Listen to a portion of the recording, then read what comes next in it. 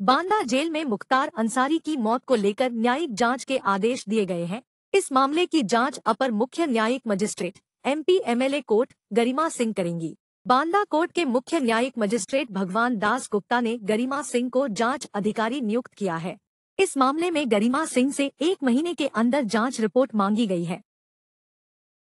जाँच के आदेश का उद्देश्य मुख्तार अंसारी के मौत की जाँच में पारदर्शिता और उचित प्रक्रिया का पालन करना है।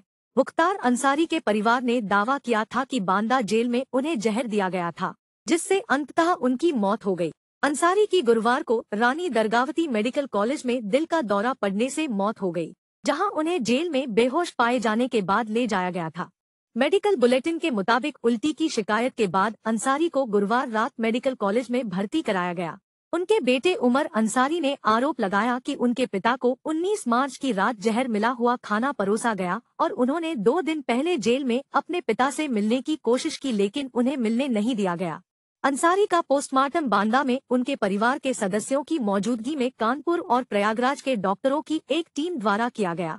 सुपुर्द एक खाक गाजीपुर ज़िले के कालीबाग कब्रिस्तान में होगा। मऊसर से पाँच बार विधायक रहा मुख्तार अंसारी। 2005 से यूपी और पंजाब की जेलों में बंद था और उसके खिलाफ 60 से अधिक आपराधिक मामले लंबित थे।